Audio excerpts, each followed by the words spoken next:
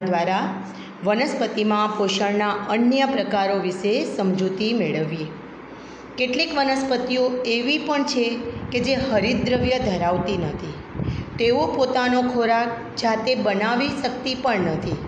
તેઓ મનુષ્ય અને અન્ય પ્રાણીઓની જેમ બીજી વનસ્પતિઓ દ્વારા બનાવાયેલા ખોરાક પર નભે છે. આમ તેઓ પરાવલંબી પોષણ ધરાવે છે.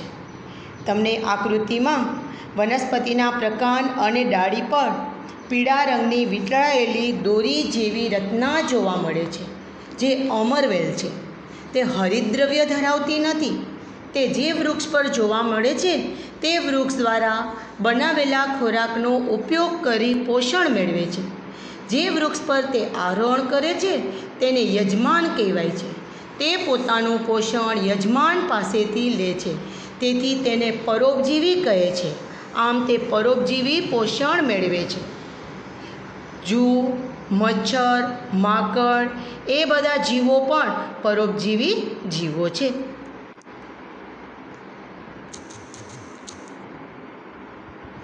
હવે આપણે કીટાહારી પોષણ વિશે જાણીએ. તમે એવી વનસ્પતિઓ વિશે સાંભળ્યું છે કે જે પ્રાણીઓનો ખોરાક તરીકે ઉપયોગ કરતી હોય? એવી થોડીક વનસ્પતિઓ કે જે કીટકોનો શિકાર કરીને તેનું પાચન કરી શકે છે. છે ને આશ્ચર્યની વાત.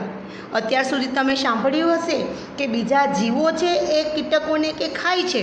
પરંતુ વનસ્પતિ કીટકોનો પોષણ તરીકે ઉપયોગ કરતી હોય તેવું તમે ક્યારેય સાંભળ્યું છે? તો હા, વિદ્યાર્થી મિત્રો. કીટકોનો આહાર તરીકે ઉપયોગ કરતી વનસ્પતિને કીટાહારી વનસ્પતિ કહે છે. ઉદાહરણમાં આપણે જોઈએ તો ખાસ કરીને વિનસ મક્ષીપાસ ડ્રોસેરા કળસપર્ણ એ બધી કીટાહારી વનસ્પતિ છે.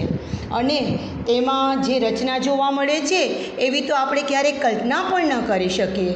અત્યારે આપણે જે આકૃતિ જોઈ રહ્યા છો, એ કળસપર્ણની છે.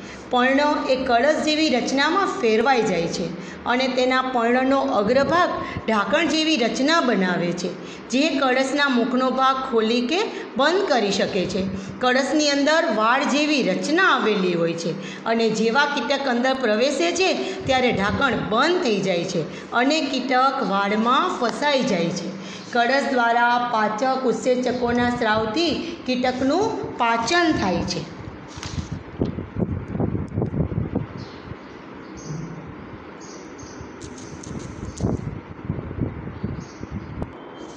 આમ કીટાહારી વનસ્પતિઓ લીલા પર્ણ પણ ધરાવે છે અને પ્રકાશ સંશ્લેષણ દ્વારા ખોરાક પણ બનાવે છે.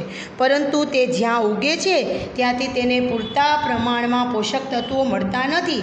આથી તેની પૂર્તિ કરવા તે કીટકોનું ભક્ષણ કરે છે. શેને વિદ્યાર્થી મિત્રો? આશ્ચર્યજનક વાત.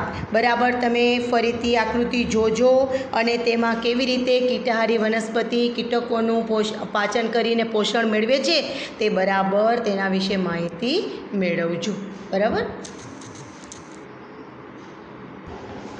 વર્ષા ઋતુમાં સડતા લાકડા ઉપર છત્રી અથવા ડાઘાયુક્ત પોચી રચના પણ તમે જોઈ હશે. તો આવા સજીવો પોષક તત્વો ક્યાંથી લે છે? તેઓને મુખ પણ નથી, તેઓ હરિતદ્રવ્ય પણ ધરાવતા નથી અને પ્રકાશ સંશ્લેષણ દ્વારા પોતાનો ખોરાક પણ બનાવી શકતા નથી. તો તેઓ ક્યાંથી પોષણ મેળવે છે? તો તેના માટે આપણે એક નાની પ્રવૃત્તિ કરીએ. તમે તમારા ઘરની અંદર બ્રેડ કે રોટલીને બે ત્રણ દિવસ પડેલી જોઈ હશે, ત્યારે તેના ઉપર રૂંવાટી જેવા ધબ્બા દેખાતા હશે અને તે ધબ્બા સફેદ, લીલા કે કથ્થાઈ રંગના પણ હોઈ શકે. જો તેને આપણે સૂક્ષ્મદર્શક યંત્ર કે બિલોરી કાચ વડે જોઈએ, તો આપણને એમાં રૂ જેવા તાતણા જોવા મળે છે અને તેથી તેવા સજીવોને ફૂગ કહેવાય છે અને તેઓ જુદા પ્રકારે પોષણ મેળવે છે. આમ તેઓ મૃત અને સડી ગયેલ પદાર્થોમાંથી પાચક પાચક રસોનો સ્રાવ કરે છે અને દ્રાવણમાં ફેરવે છે અને પછી તેમાંથી પોષણ મેળવે છે. આમ મૃત અને સડી ગયેલ પદાર્થોના દ્રાવણમાંથી પોષણ મેળવાય તેને મૃતોપજીવી પોષણ કહેવાય છે અને આવી વનસ્પતિઓ મૃતોપજીવી કહેવાય છે. અથાણાં, ચામડા, કપડાં કે બીજી ઘણી વસ્તુઓ ઉપર તમે ફૂગ ઉગેલી જોઈ હશે. આમ ફૂગ છે એ ભીની અને હુંફાળી સપાટી પર આવે ત્યારે તે અંકુરિત થાય છે અને વૃદ્ધિ પામે છે. ઘણી ફૂગ નુકસાનકારક છે, ઘણી ફાયદાકારક છે. આમ ફૂગ ખાદ્ય પદાર્થે બનાવવામાં ઉપયોગી છે અને ઘણી દવાઓ માટે પણ ઉપયોગી છે.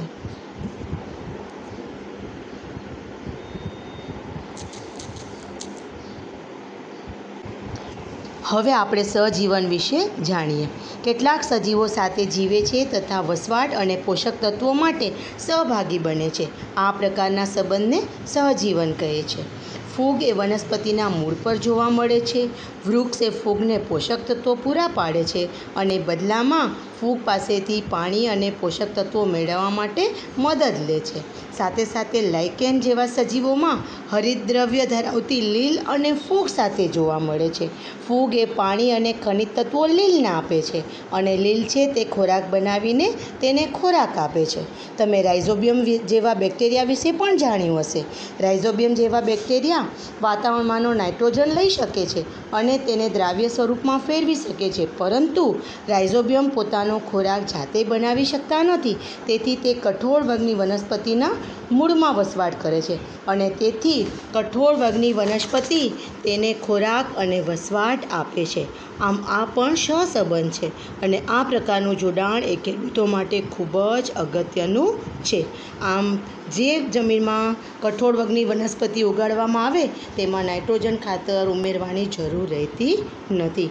આમ, આ પ્રકરણમાં આપણે જાણ્યું કે મોટાભાગની વનસ્પતિ સ્વયંપોષી છે. અમુક જ વનસ્પતિ પરપોષી કે મૃતોપજીવી પદ્ધતિ દર્શાવે છે અને બધા જ પ્રાણીઓ પરપોષીમાં સમાવેશ કરી શકાય. દ્વારા વનસ્પતિ